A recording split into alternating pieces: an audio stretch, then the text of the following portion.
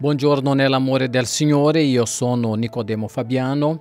Oggi è il primo di febbraio del 2021, noi abbiamo fatto un mese intero di lettura della parola perché questo è Leggiamo la Bibbia insieme. Tutti i giorni, dal lunedì al venerdì, a mezzogiorno, leggeremo da uno a due o forse massimo tre capitoli della parola di Dio che sicuramente saranno di edificazione, una parola per benedire, per fortificare il tuo cuore.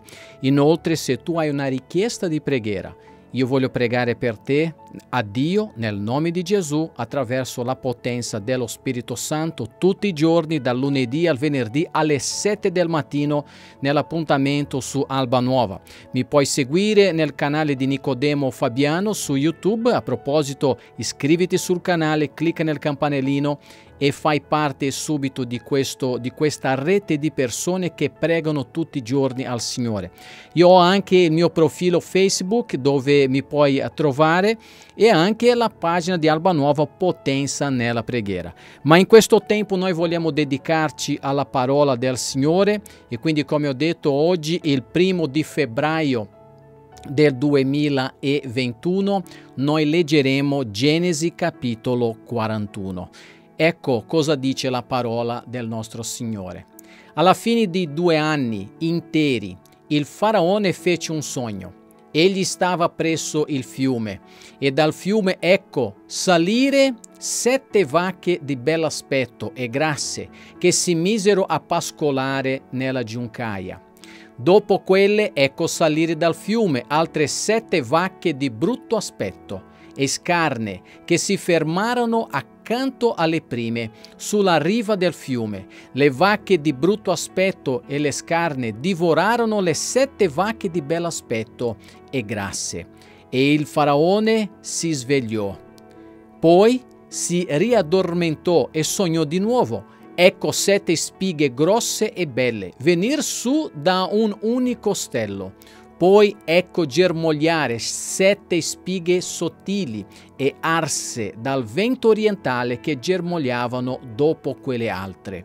Le spighe sottili inghiottirono le sette spighe grosse e piene e il faraone si svegliò. Era un sogno. La mattina lo spirito del faraone fu turbato. Egli mandò a chiamare tutti i maghi tutti i savi d'Egitto e raccontò loro i suoi sogni, ma non ci fu nessuno che li potesse interpretare al faraone. Allora il capo dei copieri parlò al faraone dicendo, ricordo oggi le mie colpe il faraone si era sdegnato contro i suoi servitori e mi aveva fatto mettere in prigione nella casa del capo delle guardie, me e il capo dei panettieri. L'un e l'altro facemmo un sogno nella stessa notte, facemmo ciascuno un sogno con un significato particolare. Lì con noi c'era un giovane ebreo, servo del capo delle guardie, a lui raccontammo i nostri sogni ed egli ci interpretò, dando a ciascuno l'interpretazione del suo sogno. E le cose avvennero secondo l'interpretazione che ci aveva data. Il faraone ristabilì me nel mio incarico e l'altro lo fece impiccare. Allora il faraone mandò a chiamare Giuseppe. Lo fecero subito uscire dalla prigione sotterranea Egli si rase, si cambiò il vestito e andò dal faraone. Il faraone disse a Giuseppe, ho fatto un sogno e non c'è chi lo possa interpretare. Ho udito dire di te che quando ti raccontano un sogno tu lo puoi interpretare. Giuseppe rispose al faraone dicendo, non sono io, ma sarà Dio che darà al faraone una risposta favorevole. Allora il faraone disse a Giuseppe, nel mio sogno io stavo sulla riva del fiume, quando ecco salire dal fiume sette vacche grasse di bel aspetto e che si misero a pascolare nella giuncaia. Dopo quelle, ecco salire altre sette vacche magre di bruttissimo aspetto e scarne tali che non vide mai di così brutte in tutto il paese d'Egitto. Le vacche magre e brutte divorarono le prime vacche grasse e questo entrarono loro in corpo e non si riconobbe che vi erano entrate, erano di brutto aspetto come prima e mi svegliai. Poi vidi ancora nel mio sogno sette spighe venire su da un unico stello, piene e belle. Ed ecco germogliare altre sette spighe vuote, sottili e arse dal vento orientale dopo quelle altre. Le spighe sottili inghiottirono le sette spighe belle. Io ho raccontato questo ai maghi, ma non c'è stato nessuno che abbia saputo spiegarmelo. Allora Giuseppe disse al faraone, Ciò che il faraone ha sognato è una stessa cosa. Dio ha indicato al faraone quello che sta per fare. Le sette vacche belle sono sette anni e le sette spighe belle sono sette anni. È un solo, uno stesso sogno. Le sette vacche magre e brutte che salivano dopo quelle altre sono sette anni come pure le sette spighe vuote e arse dal vento orientale saranno sette anni di carestia. Questo è quello che ho detto al faraone. Dio ha mostrato al faraone quello che sta per fare. Ecco, stanno per venire sette anni di grande abbondanza in tutto il paese d'Egitto. Dopo verranno sette anni di carestia. Tutta quell'abbondanza sarà dimenticata nel paese d'Egitto e la car- carestia consumerà il paese. Uno con, non conoscerà più quelli dell'abbondanza nel paese a causa della carestia che seguirà, perché questa sarà molto dura. Il fatto che il sogno si sia ripetuto due volte al faraone vuol dire che la cosa è decretata da Dio e che Dio l'eseguirà presto. Or dunque il faraone si provveda di un uomo intelligente e saggio e lo stabilisca sul paese d'Egitto. Il faraone faccia così, costituisca dei commissari sul paese per prelevare il quinto delle raccolte del paese d'Egitto durante sette anni d'abbondanza. Essi raccolgono tutti i viveri di quelle sette annate buone che stanno per venire e ammassino il grano a disposizione del faraone per l'approvvigionamento delle città e lo conservino.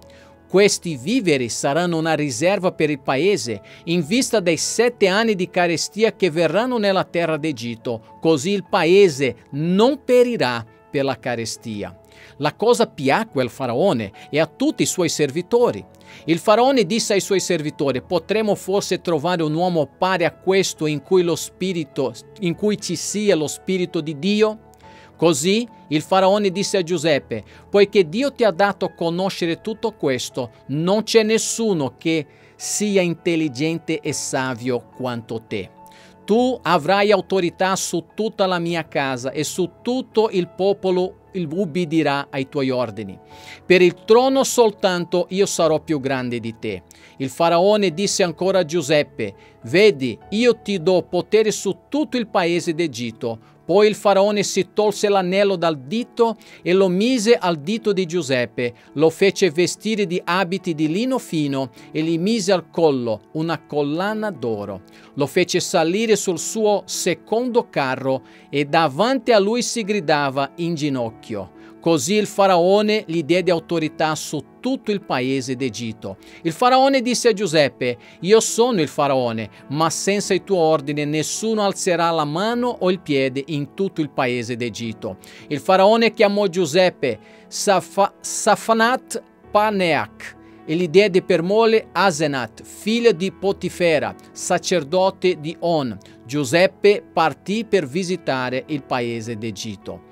Giuseppe aveva 30 anni quando si presentò davanti al faraone, re d'Egitto. Giuseppe uscì dalla presenza del faraone e percorse tutto il paese d'Egitto. Durante i sette anni di abbondanza la terra produsse a profusione, a profusione. Giuseppe raccolse tutti i viveri che furono prodotti nel paese d'Egitto in quei sette anni e li immagazzinò nelle città immagazzinò in ogni città i viveri del territorio circostante. Così Giuseppe ammassò grano come la sabbia del mare, in così gran quantità che si smise di contarlo perché era incalcolabile. Prima che venisse il primo anno della carestia, nacquero a Giuseppe due figli, che Asenat, figlio di Potifera, sacerdote di On, li partorì. Giuseppe chiamò il primogenito Manasse perché disse, Dio mi ha fatto dimenticare ogni mio affanno e tutta la casa di mio padre. E il secondo lo chiamò Efraim perché disse, Dio mi ha reso fecondo nel paese della mia afflizione. I sette anni d'abbondanza che c'erano stati nel paese d'Egitto finirono e cominciarono a venire sette anni di carestia, come Giuseppe aveva detto. Ci fu carestia in tutti i paesi, ma in tutto il paese d'Egitto c'era del pane. Poi la carestia si estese a tutto il paese d'Egitto e il popolo gridò al faraone per avere del pane. Il faraone disse a tutti gli egiziani, andate da Giuseppe e fate quello che vi dirà. La carestia era su tutta la superficie del paese e Giuseppe aprì tutti i depositi e vendette grano agli egiziani. La carestia si aggravò nel paese d'Egitto. Da tutti i paesi venivano in Egitto da Giuseppe per comprare grano, perché la carestia era grave su tutta la terra. Parola del Signore. Questo è leggiamo la Bibbia insieme. Noi continueremo a leggere la parola del Signore anche domani, sempre a mezzogiorno, nel canale di YouTube di Nicodemo Fabiano. Io ti aspetto, metti un like, iscriviti sul canale, metti un commento, prega per me, io prego per te e lascia la parola del Signore parlare al tuo cuore. Nel nome di Gesù, che Lui ti benedica e tu abbia una settimana veramente felice nel Signore.